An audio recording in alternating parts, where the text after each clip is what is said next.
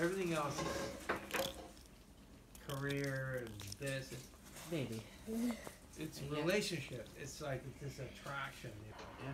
But in- you know, No, it- it's not. No, but, no, but what oh, you're why? deal, what you're wrestling with with Elliot is the hardest part of being a human being.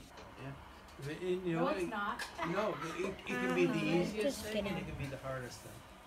That's what I'm saying. Yeah. Like when I met your mom, I mean, He's like, I'm so bored. no, it is. Everything else is like, oh, whatever, intellectual, or uh, maybe I'll do this. And, uh, you have a passion.